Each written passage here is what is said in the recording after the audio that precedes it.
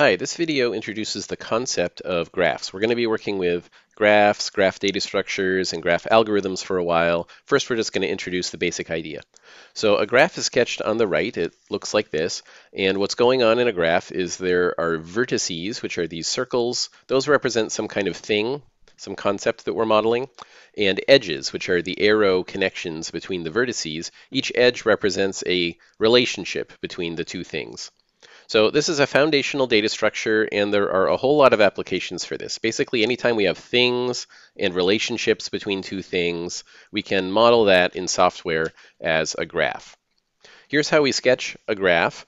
Each vertex is drawn as a circle, and there's a strong convention that we number the vertices the same way that we number array indices. So starting from 0, 0, 1, 2, 3, 4 in this example.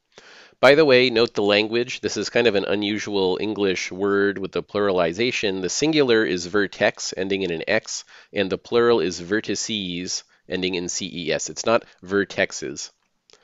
So each vertex is drawn as a circle, possibly with an index or label inside the circle, and every edge is drawn as an arrow between two vertices with a clearly defined starting and ending point.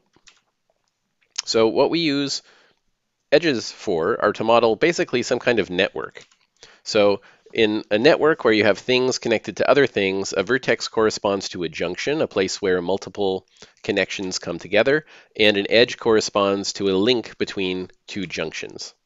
So I'm going to go through a couple examples of networks we could model as graphs. One example would be the road network. So this is the network of streets and intersections.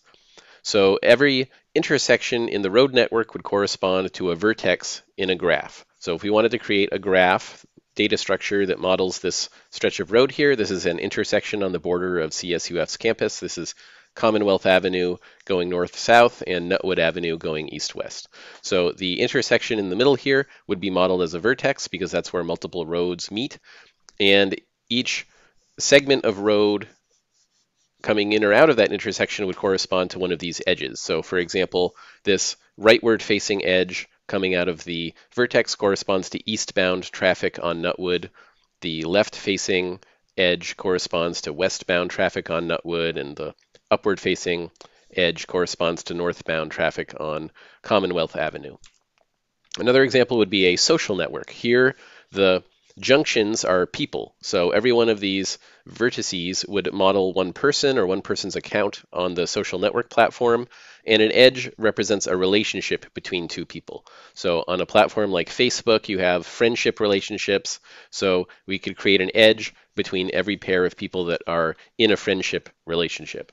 Or Twitter has follow relationships. So we could create an edge between two vertices when one Twitter user follows the other. And this, you know, probably is how Twitter keeps a database of its users because it has those statistics 30 following, 19 million followers, things like that.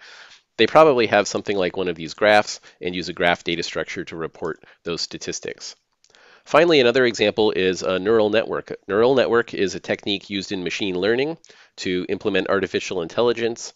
And the way that it works is a simulation of something like a brain or set of nerve cells.